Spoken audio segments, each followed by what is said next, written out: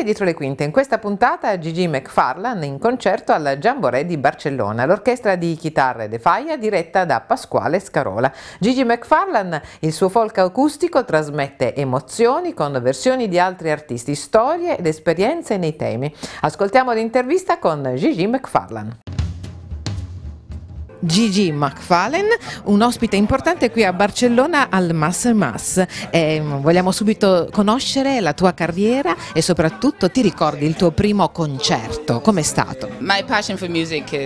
La mia passione per la musica è presente da sempre. Non ho mai pensato di essere una musicista, una cantante. La vedevo come una cosa impossibile da realizzare. Ora sono molto felice di quello che sto facendo. Impossible to do, but here I am and I'm very happy. Mi ricordo il mio primo concerto cinque anni fa. Tremavo da morire durante il concerto.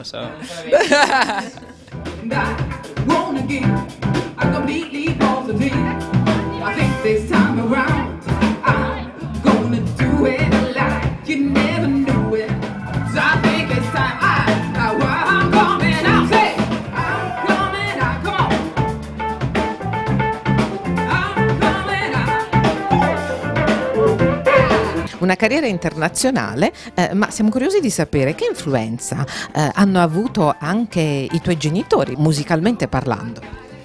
Okay, that's a hard one. Le mie origini sono complesse. Sono nata a Londra, cresciuta a Minorca da quando avevo sei anni. Mia madre è giamaicana e mio padre è tedesco. Non ho preso niente da nessuno.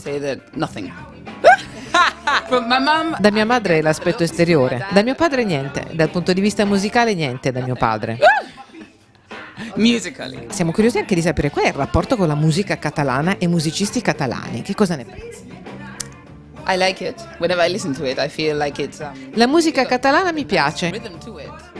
Um, I musicisti catalani hanno un bel ritmo anche se non conosco la lingua. Ma mi piace. Not something I would do, but I like it. Come on.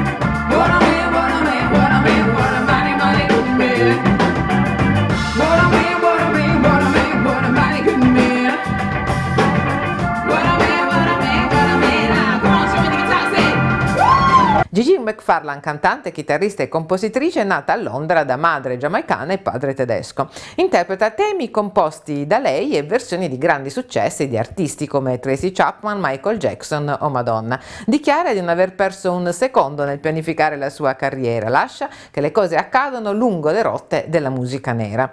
Non crede che tutte le culture presenti nel suo DNA siano state particolarmente rilevanti nella scelta del suo stile musicale e aggiunge che Barcellona è una città cosmopolita e internazionale, anche se non ha molti contatti con i musicisti catalani.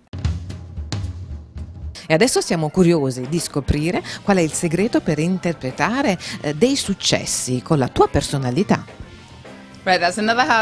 È una domanda difficile, è naturale, mi diverto.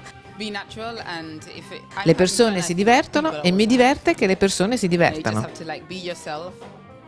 Bisogna essere se stessi, perché se si è nervosi il pubblico lo percepisce. Make them feel that. But if you're naturally yourself, I think that's the way to push it through easy.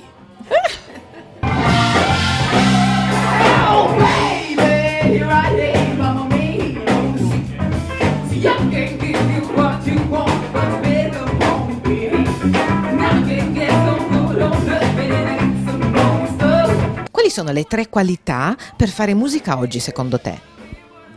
I think the first thing is passion. Passione, tempo. Oggigiorno non c'è molto tempo. You have to have time. Because nowadays you don't have much time. And ed essere felici per quello che si fa. Ti propongono di commentare con la tua musica una colonna sonora di un film. Che tipo di film sarebbe? I think it must be a comedy film. A commedia. Something funny that you enjoy, you laugh. Like. and I don't even know which world I'm in, but it's okay. I gotta find the time to fit all in, but it's okay. Now that I find me dreaming, but it's okay. I wanna do this, I wanna do that. I'm running out of time, it's going so fast, yeah. Gotta make it, make it, make it, make it, make it, make it, make it, make it, make it, make it, make it, make it, okay. Gotta make it, make it, make it, make it, make it, make it, make it, make it, make it, make it, make it, make it, okay. Che cosa ti piacerebbe raccontare nel tuo prossimo album? Um, I have many ideas, but one of them Vorrei scrivere una canzone per ogni membro della mia famiglia, ma vorrei farlo con una band in sottofondo.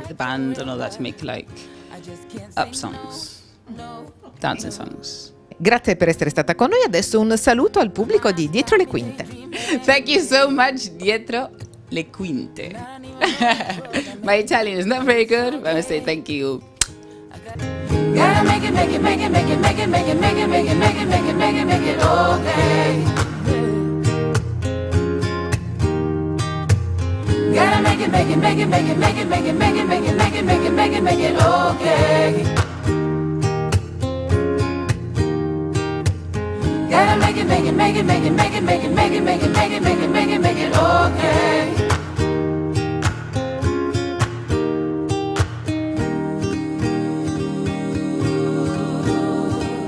It's okay.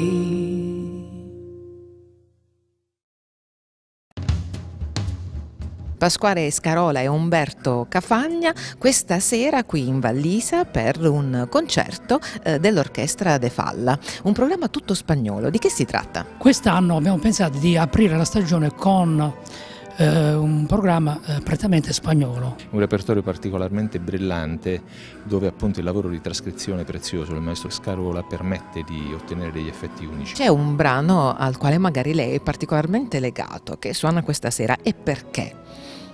Ma eh, in- diciamo che in genere le trascrizioni di Albeniz sono eh, effettivamente quanto di più idiomatico ci sia per eh, la chitarra, anche se sono brani concepiti per eh, lo strumento a tastiera, per il pianoforte. Nella musica di Albeniz si respira proprio questa atmosfera andalusa, questa atmosfera proprio iberica che viene resa particolarmente bene dalla chitarra. Qual è la difficoltà eh, di dirigere un organico di, di- di questa cifra? Bisogna eh, stare molto attenti a trascrivere in un certo modo, altrimenti eh, potrebbe anche diventare eh, pesante un po' all'ascolto per il pubblico. Quindi si cerca di variare, di giocare un po' sui- sulla timbrica di sfruttare al massimo diciamo, tutti gli effetti della chitarra eh, con l'aggiunta degli altri strumenti. Ma Scarola com'è come direttore d'orchestra? Una qualità del maestro Scarola, eh? Innanzitutto molto paziente, molto capace perché ha una grossa esperienza della, della vicenda musicale, perché lui è passato attraverso tante forme di, di- di- di- di, eh, esperienze musicali che lo hanno forgiato eh, veramente a 360 gradi. Una persona che ha una grande concretezza tra l'altro sul palco. Un giovane che vuole fare il direttore d'orchestra oggi, qual è il curriculum ideale? Eh, occorre molta esperienza, però non è che eh, basta soltanto lo studio, eh, affrontare le varie esperienze, vari generi musicali, appunto come eh, diceva il maestro Cafagna. Invece per fare il solista e il solista chitarristico, eh, oggi che cosa consiglia un ragazzo? Beh, eh, io direi che mh, diciamo, il percorso è sempre quello tradizionale dello studio in conservatorio, del fatto di formarsi piano piano, di avere maestri eh, di qualità e di fare esperienze progressive, cioè non si arriva subito a fare il solista eh, in un'orchestra come questa, ma mh, appunto ci sono una serie di step, di gradi che sono quelli poi che percorrono i nostri allievi di conservatorio partendo dai primi saggi, saggi dei primi anni, fino ad arrivare al completamento del percorso decennale, sono dieci anni di studio. Vi commissionano una colonna sonora di un film.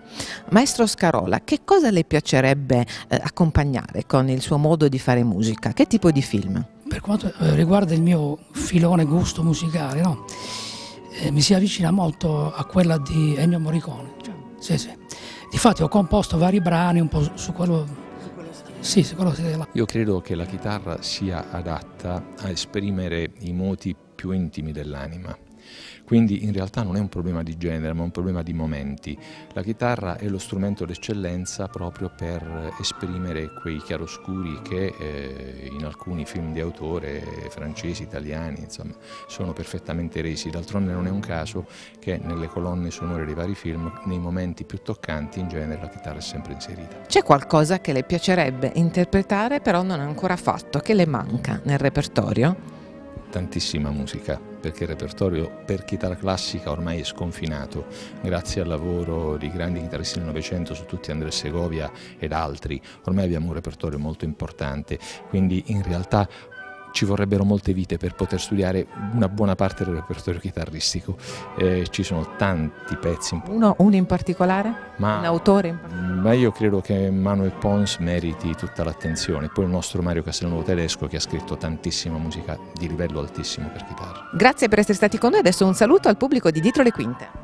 Seguite l'orchestra di chitarra De Faia. Abbiamo bisogno dell'aiuto della gente che ci segue. Ciao, arrivederci. Viva la musica e viva la chitarra.